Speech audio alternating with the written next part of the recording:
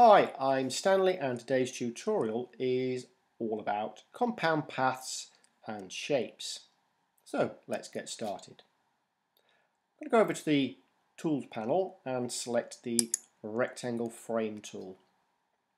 And I'm just going to click and drag and draw myself a random rectangle.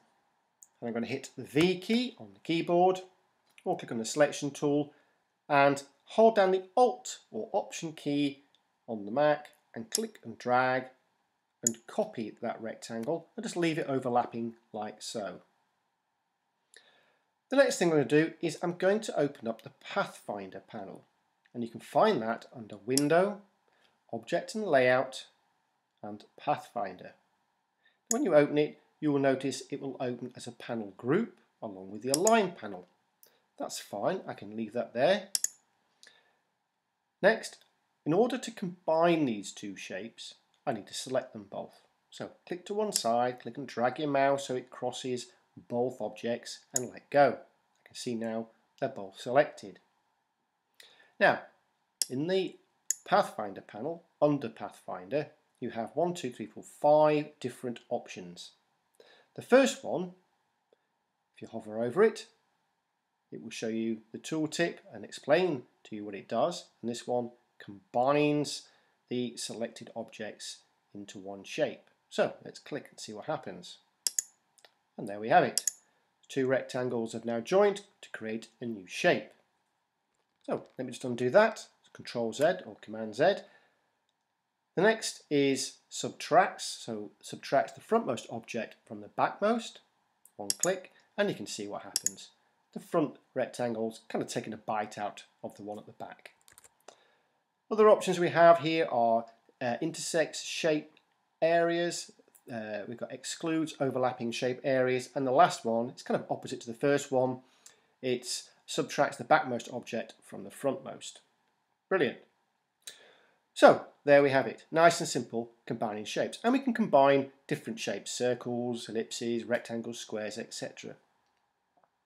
But what if we wanted to create something a little more complicated? Something like this perhaps? This cog? Well, let's see.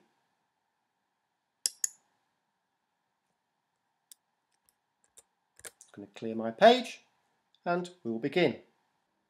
Okay, so the first thing I'm going to do is choose the appropriate tool and it's hiding underneath the rectangle frame tool and it's the polygon frame tool.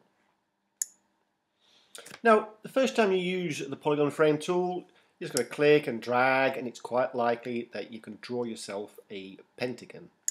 Well, clearly that's not what I need. So I'm just going to backspace that, delete it, and I'm going to double click on the icon of the polygon frame tool to open up the polygon settings. Now in here you can see the number of sides can be changed and the star inset. So I'm going to change the number of sides to 38. I'm just going to type that in. And I'm not quite sure actually uh, the uh, the percentage for the star inset, so I'm just going to give it 5 for now and see what happens. Okay. Now I'm going to click and drag and see what I've got. Brilliant. Well, that's changed somewhat. Um, to remember to constrain that to draw a perfect circle, hold down the shift key, let go of your mouse first, and then let go of your shift key. Uh, great, I like that. Number of points seems fine. Not as deep as I wanted. I think something a little bit deeper than that, perhaps a 10% would have been better. So I don't have to redraw this. I can just double click the icon again and change the value in the star inset. So I'm just going to take that up to 10% and then click on OK. I think that's better. Now, it's not actually the only way I can do it.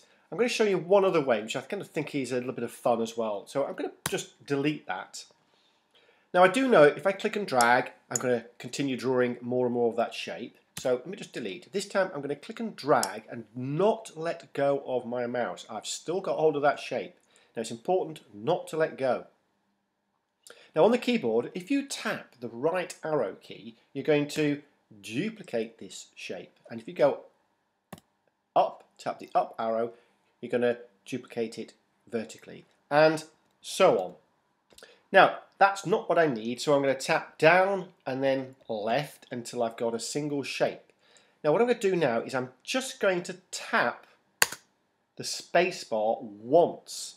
Now, you will see nothing on screen happen. There's no indication anything has changed. However, if I now start tapping the right and the left arrow keys on the keyboard and the up and the down, you will see the effect it's having. I can increase the depth of those points with the right arrow, decrease them with the left, increase the amount with the up and decrease with the down. So maybe you'd like to experiment with that. Now, I've just made some alterations. I'm just going to get that back to something that I preferred. Uh, that'll do. That, that'll do me. Okay, and then I'm going to make sure I hold the shift key down before I let go. Otherwise, you'll have to redraw it. Perfect. So I'm going to hit the V key or click on the selection tool. Just leave the object selected. And I'm going to click on the Align panel. The Align panel should be tabbed with the Pathfinder. If it's not, remember it's Window, Object and Layout, and there's the Align panel. And I'm just going to align this horizontally and vertically so I know it's in the center of my page. Excellent. The next thing I'm going to do is I need to find a way of just trimming off these points. These points here, I think they're a little bit sharp. You wouldn't have them so sharp. So how are we going to remove those sharp points?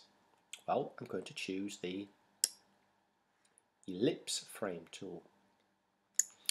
Now I need to draw a circle over this shape so when I start to draw my circle it's you can see it's very difficult to keep that aligned. You could hold the space bar down and reposition it. Let go of the space bar, it locks again. That's kind of useful. It's giving me yeah, a bit, bit of control. But I'm not going to I'm not going to do it that way. I'm going to do it a slightly different way. If you hold the Alt or the Option key on the Mac down, position your cursor right in the center of that shape. That cross is guiding me, look. And I'm going to go click and drag, and now with the Alt key pressed down, you can see it will draw from the center outwards. Excellent. Now, if you can combine that with the Shift key, you can draw yourself a perfect circle and I'm just going to take this beyond there and I just want to stop about there. Okay, make sure this is aligned, and I'm, I'm quite convinced it is, uh, but just make, make sure by clicking on the vertical and horizontal alignment options we've got there. Yeah, it didn't move, so it was fine. Now, I'm going to hit the V on the keyboard, or click on the selection tool, and click and drag just so I draw that kind of marquee there over the two of them just so I can select them both because now I need to find an option in the in the Pathfinder to help me remove those points. Now remember the first one in the Pathfinder options is going to combine these two shapes. That's not really what I want. Kind of interesting shape, but again, not what I want. Alright, so the second one, remember, is going to subtract the front from the back. Kind of interesting, but clearly not what we're looking for.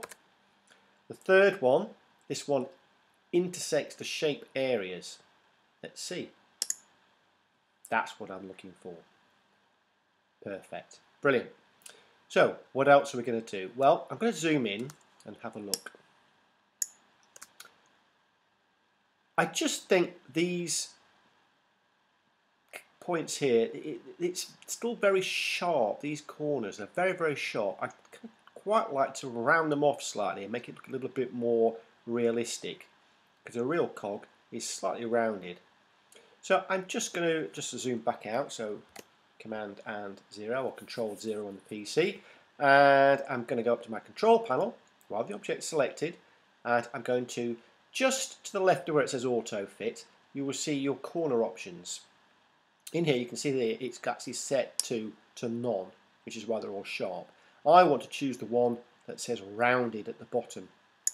Straight away, you see that? Just give it a little bit of a curve. Now you can adjust this ever so slightly. I think I 5 mil. I don't think beyond there it's going to make any difference at all. I think that's going to be your maximum. But that, to me, if I zoom in again, looks pretty good. Maybe hmm, these could have been a bit deeper, but hey. Okay, next step. I want to cut a hole in here. Remember the original has got this hole in the center here, so I'd quite like to create that.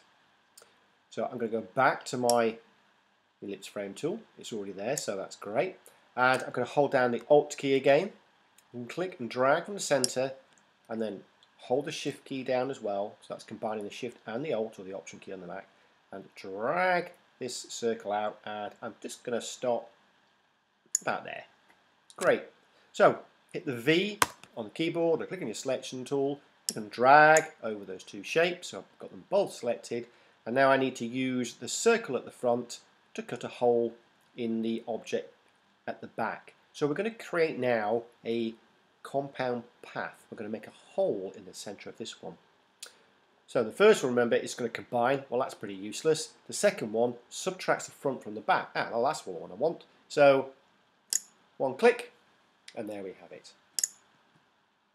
There is the start of my cog. Excellent. I'm not going to go much further than that, actually. Uh, what I'd like to do, though, is put some put some texture in there, make it look a little bit more metallic. So while it's selected, File and Place, and I've got some textures on my desktop. Ignore that. Got some textures on my desktop. Uh, some metal textures. So here we are. I've got uh, copper, rusty. See what that rusty one looks like. Yeah, that'll do. Quite like that. And open. And there we can see it's placed the image inside there. It's not filled it, has it? So I'm just going to click on in the control panel, fill frame proportionally. There we go, that's filled it. And view, display performance, and we'll turn it on high quality display so we can see that image at its full quality. One more thing I'd like to do to this is I'm going to click on FX in the control panel and choose bevel and emboss. It doesn't really matter which one we choose at this stage to be honest with you because it's going to open up the panel for all of those options. But you can see I chose that one and it instantly applied an effect. So, uh, bit soft, so I'm going to change that from smooth to chisel hard. And here we go, this is a typical uh, InDesign bug going on here. Uh, I'm going to get this size down to about 2 mil. I've lost my preview, yeah, I've lost my preview. I'm going to click on OK. Reopen it. Let's see if that's fixed it. That's fixed it. Uh, nothing I can do about that. It is a little bug. So chisel hard, that's good. Size, I think 2 is plenty. Maybe even 1.5 would do. I can't get 1.5 on there, so I'm actually just going to type it in. So 1.5. That's worked. The altitude, I'm going to get that down to about 20% just gives the shadow a little bit of a, a stronger look around here. And I think, to be honest, that'll do me. I'm just going to give a compulsory drop shadow on this. I'm quite happy with that default one, to be honest with you. And I'm going to click on OK. Now, hit the W, click away, and there we have it. There's the start of our cog. Well, I hope you enjoyed that. Happy experimenting.